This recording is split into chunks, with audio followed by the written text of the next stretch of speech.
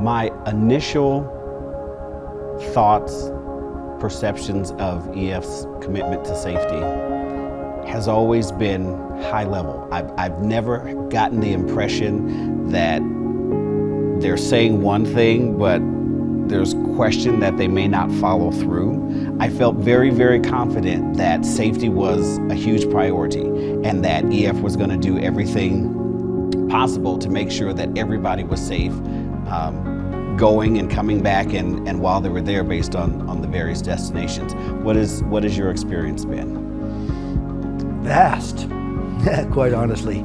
I felt immediately supported every single time EF has been there. They've got boots on the ground and, and they want their tour participants to have an incredible experience.